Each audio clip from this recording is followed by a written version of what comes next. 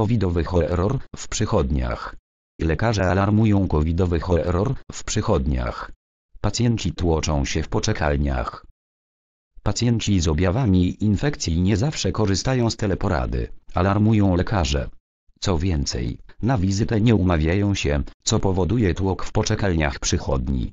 Jak mówi nam Joanna Zabielska-Cieciuch, lekarz rodzinny z Białego Stoku, wielu z tych pacjentów po wykonaniu szybkiego testu na COVID-19 otrzymuje wynik pozytywny. To średnio połowa tych, którym wykonujemy test antygenowy, przyznaje w rozmowie z interią.pl. Liczba pacjentów z infekcjami wzrasta.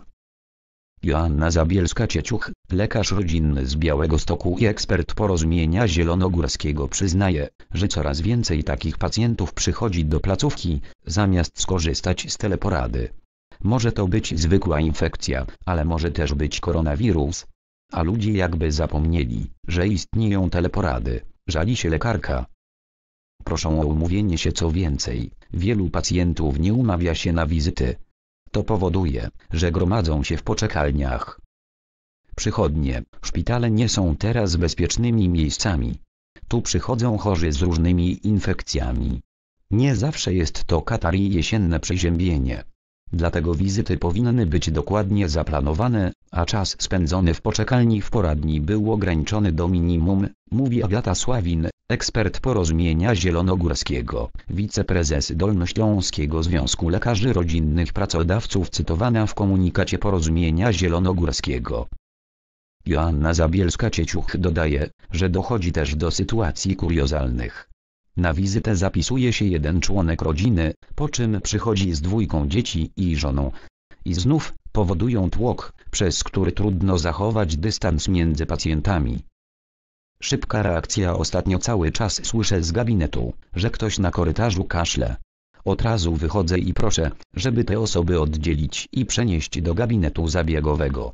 On służy nam jako izolatorium, mówi Zabielska Cieciuch. Przychodnia ma oczyszczacze powietrza ustawione w poczekalni. Co drugie krzesło z tej przestrzeni usunięto. Sale są wietrzone i dezynfekowane po pacjentach. Ale to może nie wystarczyć. Ludzie awanturują się, że zimno, że kolejka. I to jest błędne koło. Mogli przecież skorzystać z teleporady, albo umówić się na konkretną godzinę. Pierwsza opcja sprawia, że nie narażają innych a druga, że jeśli już, to w minimalnym stopniu, bo raczej nie mają kontaktu z innymi pacjentami przez brak kolejki, wyjaśnia nasza rozmówczyni. Awaryjne testy antygenowe Jeśli pacjent ma konkretne objawy, lekarz POZ może skierować go na wykonanie testu na obecność koronawirusa. Coraz więcej lekarzy rodzinnych w trosce o swoich pacjentów zaopatruje też swoje przychodnie w testy antygenowe. Jak tłumaczy Joanna Zabielska-Cieciuch, nie chodzi o to, aby przychodnie zajmowały się takim testowaniem, a o to, by w sytuacji awaryjnej szybko sprawdzić, czy dany pacjent ma koronawirusa. Na wynik takiego testu wystarczy poczekać 10 minut. Zrobiłam jednego dnia test antygenowy pięciu pacjentom. Dwa wyszły pozytywne.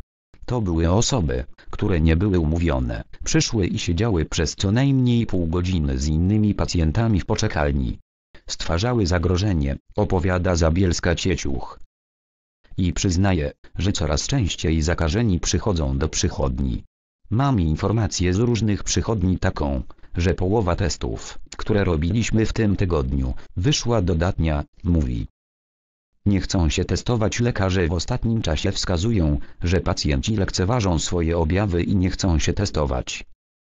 Nasza rozmówczyni zapewnia, że i na takich jest sposób.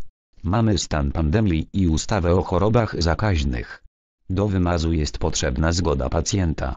Jeśli on nie wyraża na to zgody, a nawet odmawia wykonania testu antygenowego, mogę zlecić test PCR.